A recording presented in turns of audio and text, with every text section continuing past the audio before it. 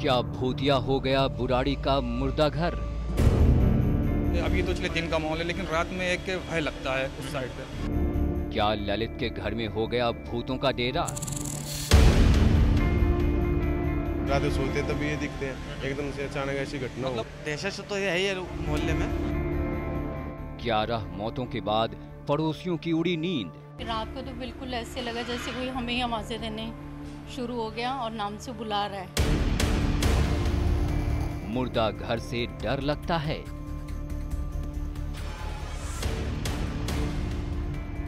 जिस घर में कभी खुशियाँ बरसती थीं, जिस घर के आसपास चहल पहल हुआ करती थी वहाँ इन दिनों मौत का सन्नाटा है।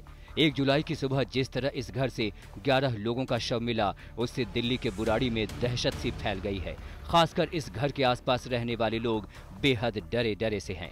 ललित भाटिया के जिस घर में 11 लोगों की मौतें हुई उस घर को सील कर दिया गया है।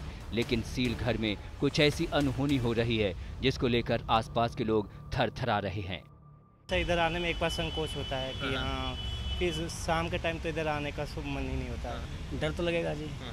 क्योंकि ऐसी घटना है कि कॉलोनी में बीच में रह रहे लोगों में एकदम इतना बड़ा हादसा हो जाए तो डर वाली बात है। सर यहाँ से निकलने का भी मन नहीं करता हम तो कमला नगर से आते हैं यहाँ पे हमारी शॉप है यहाँ पे रेंट पे ले रखी है।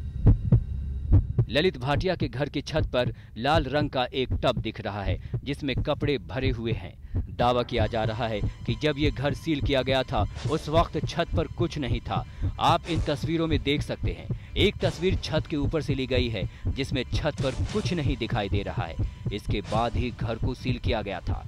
अब दूसरी तस्वीर में एक लाल रंग का टब दिख रहा है, जिसमें कपड़े भरे हुए हैं। एक नहीं, ऐसी कई बातें हैं, जिनके चलते ललित भाटिया के आसपास के लोग डरे हुए हैं। उनकी रातों की नींद उड़ गई है। हालत तो ये हो गई है कि अब ऑटो वाले भी बुराड़ी में ऑटो ले जाने से मना करने लगे हैं। ललित भाटिया के पड़ोसी चरणजीत की बेटी भी इस हादसे के बाद बहुत डरी हुई है। उनकी बेटी परिवार के बच्चों को जानती थी। आए दिन उनसे उनका मिलना जुलना होता था। अब उन सभी की मौत हो जाने के बाद ये बच्ची रात में अचानक ही नींद से उठ बैठती है। हर घर में जहाँ भी बात करते हैं, सब डरे हुए हैं, घबराए हुए हैं।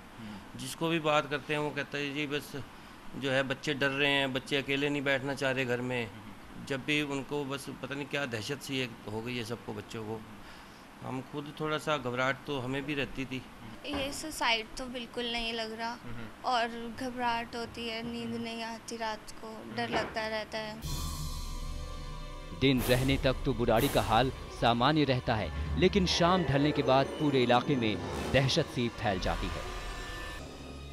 एक ही घर में जिस तरह से 11 लोगों ने मौत को गले लगाया, जिस तरह मौत से पहले मौत की स्क्रिप्ट लिखी, जिस तरह से पूरा परिवार मरने के लिए एक साथ तैयार हो गया, जिस तरह खामोशी के साथ पूरे परिवार ने आत्महत्या कर ली, उससे आसपास के लोग भीतर तक हिल गए हैं।